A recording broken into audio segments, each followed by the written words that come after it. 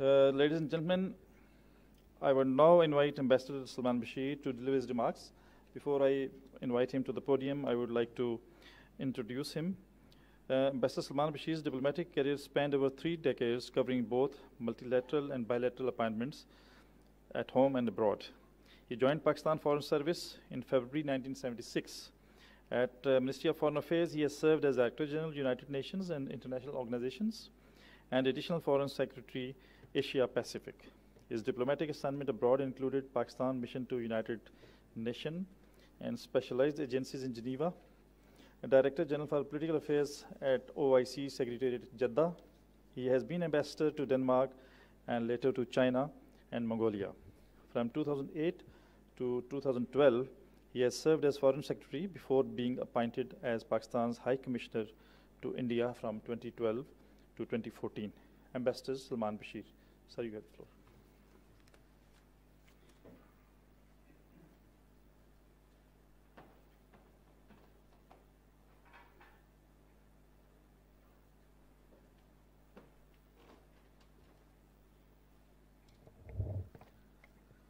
Assalamu alaikum. Bismillah ar-Rahman ar-Rahim.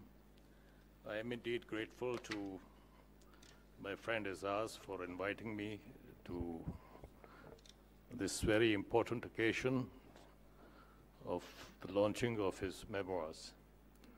Uh, it is indeed uh, a great privilege and an honor uh, to be able uh, to speak on this occasion. Uh, as a friend and a colleague, I think uh, there were facets to Aizaz's personality which were sort of hidden from the view, if I may say, uh, as far as many of his friends and colleagues are concerned, which this book has amply revealed. And all very good facets, may I add. Well, uh, Aizaz, Najia, particular, of course, your and the children's efforts have been duly acknowledged in the book. Uh, I wish to sort of uh, mention this because it's hugely, hugely important uh, for the family, the wife and the children to be supportive of a uh, of a person who dedicated his life uh, in a very remarkable way to the service of his country uh, in a very multifaceted manner. I think this is, uh, and I acknowledge, of course, uh, the comments made by Dr. Saab. I think you've done a wonderful job, uh, both uh, the two doctors, if I may say, Talat Shabir and Rifat Hussain Saab. you have contributed your thoughts, your impressions.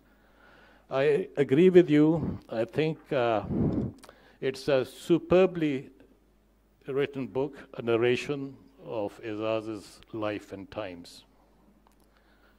Uh, I have no hesitation using a superlative to say it is indeed a masterpiece. In soft, subtle, and authoritative ways, this great work of introspection in my view, definitely stamps Aizaz's persona, and justifiably so, on half a century of Pakistan's history. As I said, it's a fascinating read, life journey vividly recalled and scripted with an animated spirit. I would also call it a literary masterpiece and an authentic narrative of Pakistan's recent history. A plain but passionate rendering of its many challenges and national accomplishments. An authentic and copious account of Pakistan's diplomacy, the quest for security, deft navigation of the treacherous and stormy waters and minefields of global and regional politics. Seeing through the mist of time the management of our relations with great powers and troublesome neighbors alike is indeed for anyone, especially, uh, you know, in the foreign ministry, uh, a momentous undertaking. interweaving the childhood years and personal life with a narrative of society's transformations all around Aizaz.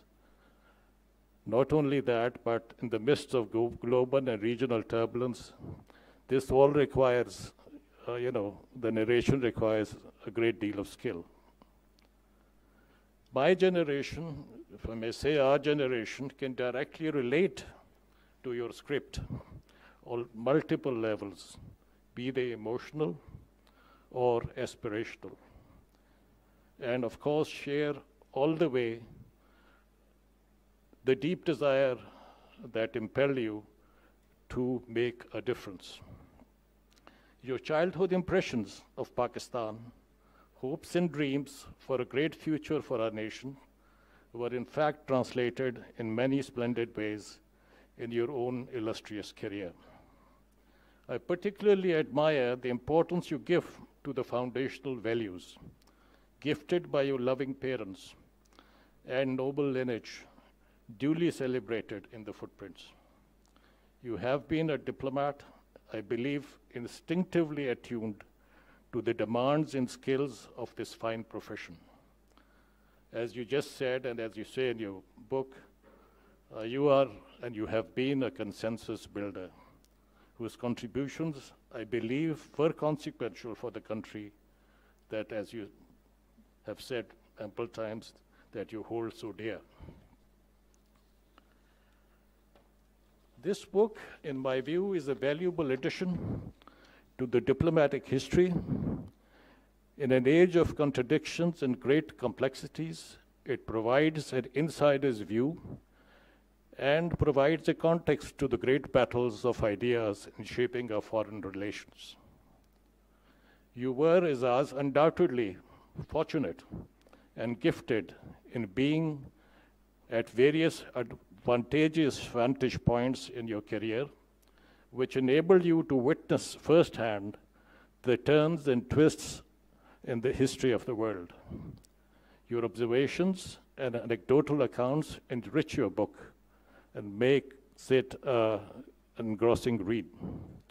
Chapter after chapter, like a novel, the story of our times, replete with facts, is narrated with a relish typical of an enthusiastic diplomat, ever ready to play all to play and cover all corners of the field.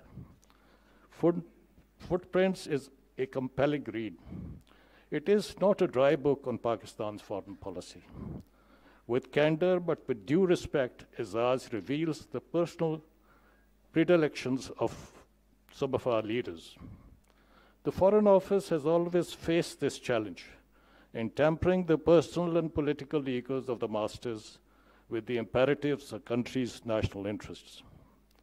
The vision of Jinnah, Jinnah's Pakistan that imbued your spirit runs through your narrative.